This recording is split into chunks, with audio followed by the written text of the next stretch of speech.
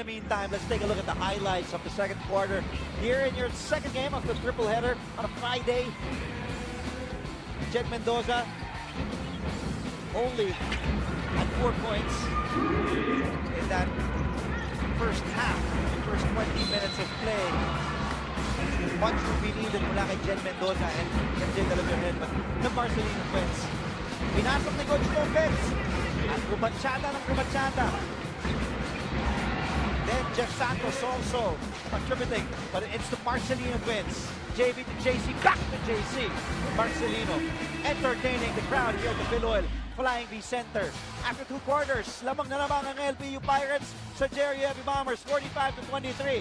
Kami po ay magbabalik. Ito po ang inyong NCAA live on SNA